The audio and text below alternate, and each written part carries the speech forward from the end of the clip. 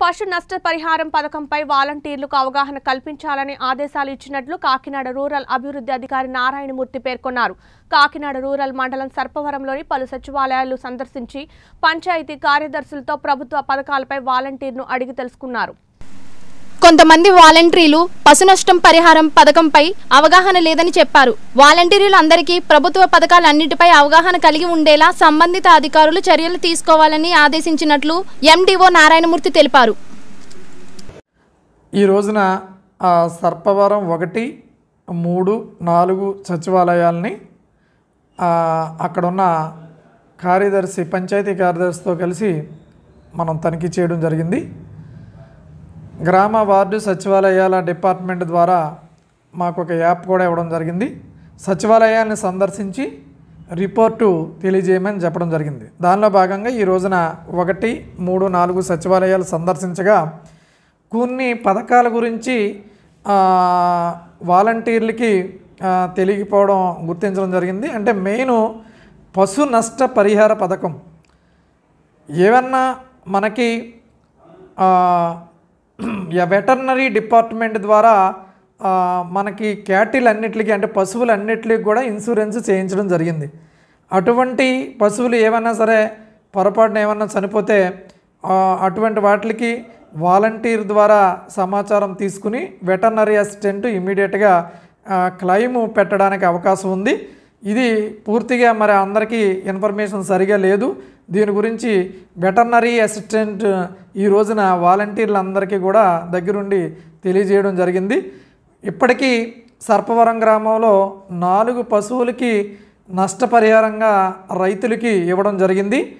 కానీ ఈ విషయం కూడా వాలంటీర్లకు కానీ అక్కడ సంబంధిత సెక్రటరీకి కూడా తెలియకపోవడం వల్ల వెంటనే ఆ పశు సంవర్ధక సహాయకులు ఎవరైతే ఉన్నారో వెస్ట్ వెటర్నరీ అసిస్టెంట్ ఆయనకి ఈ దీని మీద పూర్తిగా అందరికీ సెక్రటరీ స్టాఫ్కి అదేవిధంగా వాలంటీర్లకి తెలియజేయమని ఆదేశించడం జరిగింది. అగ్ని ప్రమాదాలు సంభవిస్తే ఏ విధంగా స్పందించాలనే అంశంపై తూర్పు గోదావరి జిల్లా రవతలపూడి గ్రామంలో స్థానిక కమ్యూనిటీ హెల్త్ సెంటర్లో అగ్నిమాపక సిబ్బంది అవగాహన కల్పించారు. ఈ అవగాహన కార్యక్రమంలో community health centre in charge doctor Ravikanth doctors Sunitha పలువురు పాల్గొన్నారు.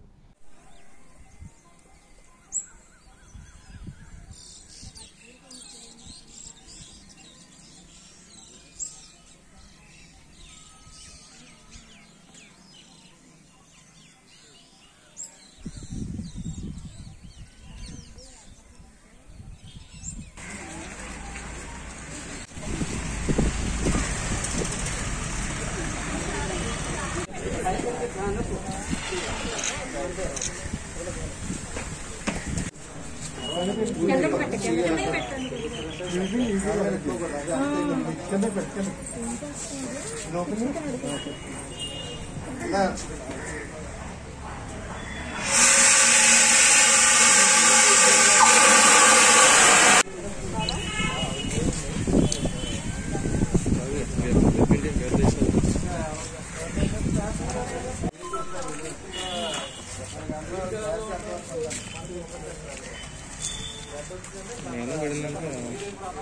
కదా ప్యాంట్ ఉండదు అదేం వద్దు అది.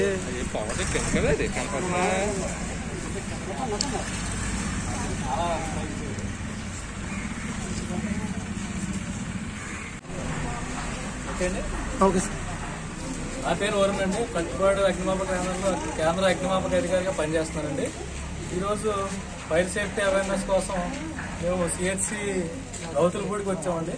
దీనికి ఏ విధంగా ఫైర్ ఎక్స్టింగ్విషన్ ఏ విధంగా వాడాలి? ఒకవేళ ఏదైనా ప్రమాదం జరిగితే ఏ విధంగా వీటిని ఉపయోగించాలనే దాని మీద మేము ఈరోజు అవగాహన కార్యక్రమం నిర్వహించాము